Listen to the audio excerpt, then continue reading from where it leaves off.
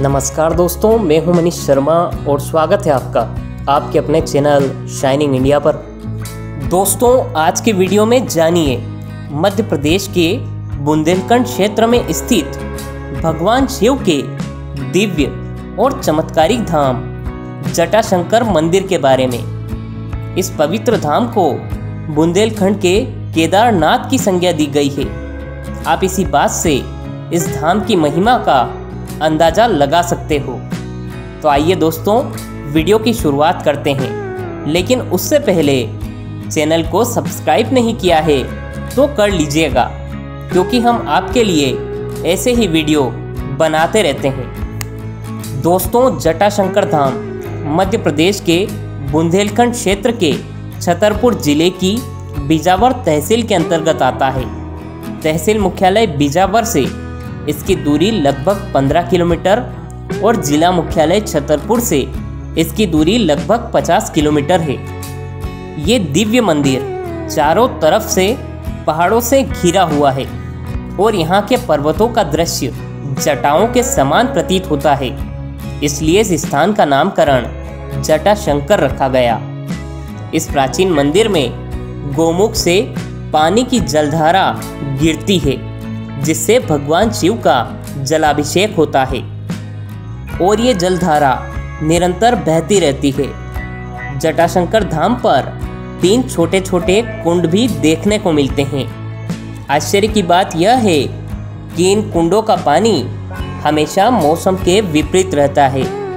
ठंड के मौसम में ये पानी गर्म हो जाता है तो गर्मी के मौसम में ये पानी ठंडे में परिवर्तित हो जाता है। इसके साथ ही इन कुंडों का पानी कभी भी समाप्त नहीं होता। मान्यताओं के अनुसार इन जल कुंडों में स्नान करने से सभी रोग बाधाएँ दूर हो जाती है। दोस्तों, बात करें इस मंदिर के इतिहास की तो इस मंदिर का इतिहास चौदहवीं शताब्दी का है। लोगों की मान्यताओं के अनुसार इस मंदिर का निर्माण चौदहवीं शताब्दी में करवाया गया था। ऐसा कहा जाता है कि विवस्तु नाम के राजा को भगवान शिव ने स्वप्न में दर्शन देकर अपना स्थान बताया था। उसके बाद राजा ने अपने सैनिकों के साथ उस स्थान को खोजा और शिवलिंग की प्राण प्रतिष्ठा करवाई, साथ ही हवन करवाया। इस तरह इस धाम की नींव रखी गई थी। दोस्तों, इस मंदिर के आसपास का नज़ारा मन को आनंदित कर देता है। यहाँ पर प्रकृति को महादेव जी का जलाभिषेक करने का सौभाग्य प्राप्त हुआ है।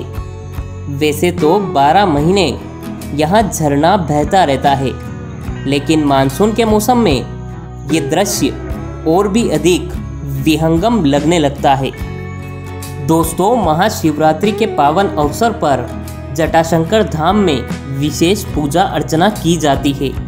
यहाँ पर सावन के महीने में बड़ी संख्या में लोग दर्शन के लिए पहुँचते हैं। इस मंदिर पर सबसे ज़्यादा अमावस्या के दिन भीड़ लगती है।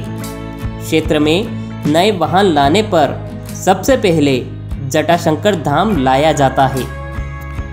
दोस्तों, इस पवित्र मंदिर पर श्रद्धालुओं की अपार श्रद्धा और अटूट विश्वास है। उनके विश्वास को भगवान महादेव जी यहाँ चमत्कार के रूप में परिवर्तित कर देते हैं और उनकी सभी मनोकामनाएँ इस धाम पर पूरी हो जाती है। और ये सिलसिला सदियों सदियों से निरंतर चला आ रहा है। उम्मीद है दोस्तों, वीडियो आपको अच्छा लगा होगा। वीडियो अच्छा लगा तो लाइक, शेयर और कमेंट करें। मिलते हैं नेक्स्ट वीडियो में। तब तक के लिए धन्यवाद और आभार। जय हिंद। हर हर महादेव।